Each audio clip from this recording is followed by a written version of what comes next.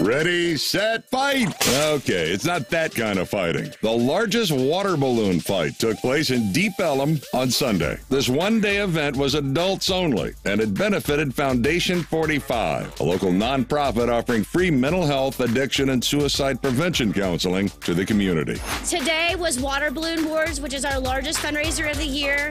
It's a giant water balloon fights. We have food trucks, water slides, alcohol, DJs, all kinds of fun things, and it's a really easy and great event that allows our neighborhood to give back to our cause. The water balloon fight started in 2015 and continues to grow larger each year. Check this out. They average 40 to 50,000 water balloons during the event. But it's not just for fun and games. It's a lot of fun, but there's a cause that we're here for. Ultimately, we're here to make sure that um, our friends and neighbors are safe and happy and healthy, and that if they're not okay, they understand there's somewhere they can go to say, I'm not okay. To find out more about how you can help, log on to CW33.com.